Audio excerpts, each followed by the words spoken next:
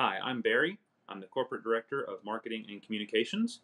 I give Yodeck a 5, and if you want more reviews, click the link below.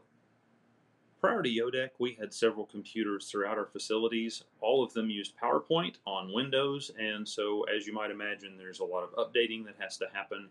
There's a lot of items that you've got to license every year, and so it was really just a big headache. We were looking for something simpler, we were looking for something that didn't require as much maintenance and was more cost effective.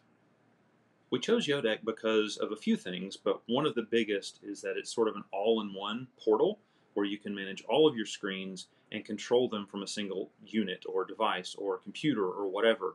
Uh, at the same time, as you make changes, you can push those changes to all of your screens or select screens, and you can even preview those if you're not physically present with the screen that you're working on. It's a much simpler interface than many of the other options that we looked at and still works beautifully across tons of different devices. It was a little difficult to get started with Yodeck because I didn't fully understand how it all worked. Uh, it is Raspberry Pi based, which means that it's a different hardware set than I had used before. But once they basically walked me through the tutorials and I paid attention to what their instructions were, it was pretty straightforward.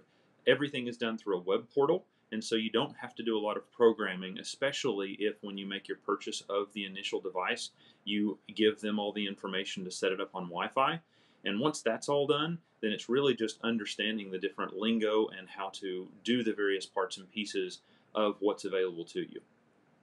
If you're considering Yodeck, one of the biggest things I would tell you to do is look around at what it says it's capable of and then place your order. And once you've placed the order of the item, it takes a few days to get it shipped to you. So then go through all those tutorials, really understand how it works, and even start to play around in that web portal so you'll be familiar when it arrives, not only with what it's capable of, but actually how to do those things. It'll save you a ton of time when you actually get the device in your hand, and that part's really easy. You literally just plug it up to your TV and a power source. So figure out the web portal, and that way when the device arrives, you're all set.